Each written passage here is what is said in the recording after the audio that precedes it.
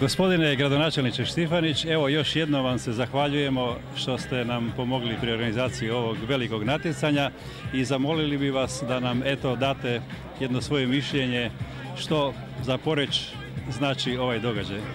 Pa ja ću u startu istaći da stvarno Poreći do sada nakon izgradnje sportske dvorane Žatika bio domaćin velikim svjetskim i europskim manifestacijama. E, I ovo je svakako jedna u nizu tih manifestacija koja mi smo inače grad mozaik, onda ja volim reći da je to još jedan novi kamenčić u naš mozaik sporta.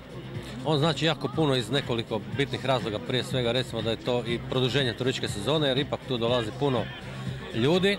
I ono što je za nas najbitnije da puno mladih ljudi koji će jednog dana sigurno zasnivati svoje obitelji i koji će vjeren se, vjerujem sigurno se vratiti u naš grad. Hvala vam lijepo.